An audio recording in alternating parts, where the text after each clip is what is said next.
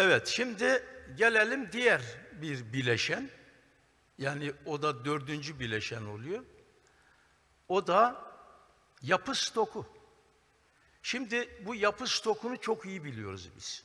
Yani kentin zannediyoruz ki bir kenti deprem dirençli yapmak sadece yapı stokunu güçlendirmek veya yenilemekle olur. Neden öyle iyi biliyoruz biliyor musunuz? Çünkü rant onun içerisinde. Onu biz müteahhitlik projesi gibi görüyoruz. Kentsel dönüşümü de bir müteahhitlik projesi gibi algıladık. Kentsel dönüşümün motor gücü olarak da müteahhitleri ortaya koyduk. Doğal olarak nasıl oldu? Ben de müteahhit olsam aynı şeyi yaparım. Nerede fazla para var, kar getiriyorsa kentsel dönüşümü oradan başlattık. İstanbul'da örneğin Bağdat Caddesi. Her taraf heyyula binalar oldu. Zeytinburnu en büyük darbeyi yiyecek söz gelimi. Git ki orada kentsel dönüşümü göresin. Şimdi e, bu bileşen önemli çünkü insanların en fazla ölümüne neden olan bileşen, kent bileşeni yapı stoku. O zaman yapı stokunu güçlendirmek, yenilemek, gerekirse tahliye etmek gerekir. Bunu uzun uzun anlatmayacağım. Ama şunu yapmayacaksınız. Bakın, bu depremlerden önceydi. Benim bas bas bağırdığıma herkes şahittir. Şimdi de hatırlayacaksınız. Hükümet çıktı dedi ki, biz dedi 600 bin konut yapacağız ve ucuz krediyle halka satacağız. Halkımız da kuyruğa girdi.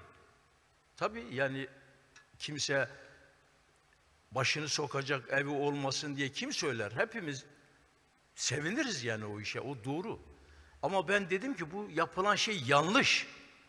İstanbul'da 90 bin bina çökme noktasında zayıflığı varken İstanbul'da yüz binlerce insanın can güvenliği yokken hükümetin yeni konut yapıp satması doğru değildir.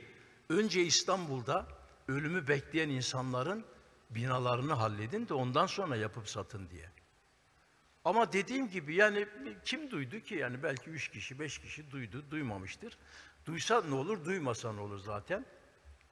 Sonuç olarak bakın yani insanlarımızın can güvenliği yokken bile biz ne yönetim ne halk olarak aldırış ediyoruz. Yani millet diyebilirdi, biz konut istemiyoruz. Önce İstanbul'da ölümü bekleyen binaların deprem güvenliğini halledin diye. Veya yani bu halkın biraz uzak durmasının sebebini, insani nedenleri hep kabul ediyorum ama birçok seçim geçti. Yerel ve merkezi seçimler. Meydanlar tıklık tıklım doldu. Ateşli ateşli nutuklar verildi. İnanılmaz alkışlar malkışlar oldu. Her şey istenildi. Hiçbir kimse bir tek pankart bile kaldırmadı Allah rızası için. Depremde ölmek istemiyoruz. Deprem bizim kaderimiz değildir demedi. E nasıl oluyor bir deprem ülkesinde yaşayan, işte bir gecede 70 bin, 60 bin insanımızı toprağa veren bir millet olarak ya nasıl bu konuya bu kadar uzak durabiliyoruz? Sahiden nasıl yapabiliyoruz biz bunu? Bundan daha önemli ne var? Devletin en önemli konusu bu değil mi Allah aşkına? İnsanlarının can güvenilliğini sağlamayan bir devlet devlet olur mu? Böyle bir devlete de gerek var mı?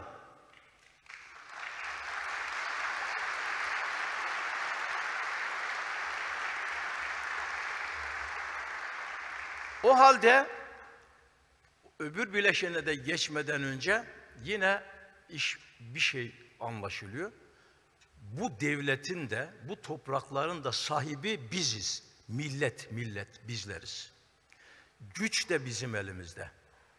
Çünkü biz parmak kaldırdığımız zaman yani oy verdiğimiz zaman biri iktidara geliyor, gücü eline geçiriyor. İndirdiğimiz zaman sandığa gömülüyor.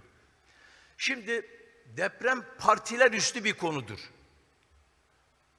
Siz herhangi bir partiye gönül verebilirsiniz.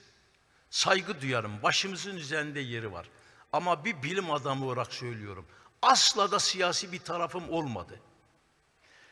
Ve size diyorum ki lütfen Allah aşkına bu seçimden başlamak kaydıyla bundan sonra hangi partiye, hangi inanca, hangi düşünceye sahip olursanız olun herhangi bir parti sizin de sevdiğiniz olsa bile deprem konusunda, insanlarımızın can güvenliği konusunda ciddi planı, programı, iradesi olmuyorsa sakın ona oy vermeyin. Ancak bunu yapabiliriz. Şimdi halkı da e, bu yapı stokunda geçtikten sonra bir başka konu, kentin önemli bir bileşeni e, çevre e, ve ekosistem. Şimdi arkadaşlar deprem en büyük çevre felaketi. Bunun buradan örneğini yine bu deprem bölgesinden vereceğim. Şimdi biliyorsunuz şu anda 100 milyon tonun üzerinde enkaz ve moloz var şu anda deprem bölgesinde. 100 milyon tonun üzerinde enkaz ne demek biliyor musunuz? Tasavvur edin. Yani 30 tonluk kamyonlarla siz senelerce taşısanız onları bitiremezsiniz. Şimdi bunlar geliyor acele acele onları bir kaldırmak lazım. Hem psikolojik olarak hem de inşaat yapacaksınız. E, halk da böyle molozun içinde yaşayacak hali yok. Dolayısıyla bunu bir an önce kaldırılıyor. Halbuki deprem molozu aydın ülkelerde, çağdaş ülkelerde böyle rastgele, alelacele kaldırılmaz. Onun ulusal ve uluslararası yönetmeliklere göre bu molozu bertaraf etmek zorundasınız. Çünkü moloz dediğimiz zaman bunun içerisinde inşaat malzemesi var. Bunun içerisinde kimyasal maddeler var, organik maddeler var, evsel atıklar var. Yani bir sürü çok değişik şeyler var. Demir, kağıt, plastik, asbest, cam ne aklınıza gelirse var.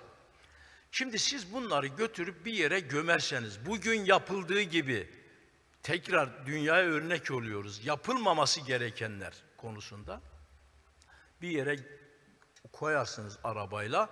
Üzerinden de her döküldüğünce bir silindir geçer. Onları güzel sıkıştırırsınız. İşte kaldırıyorsunuz. Bu ne oluyor biliyor musunuz? Bu molozlar böyle basıldı bir yere geldiği zaman eğer önlem almamışsanız önce molozların içerisinde biyokimyasal reaksiyonlar başlıyor. Ondan sonra fiziko-kimyasal reaksiyonlar başlıyor. O molozların içerisinde ne kadar ağır metal, zehirli, parlayıcı, patlayıcı, toksik madde varsa konsantrasyonu artıyor. Üstten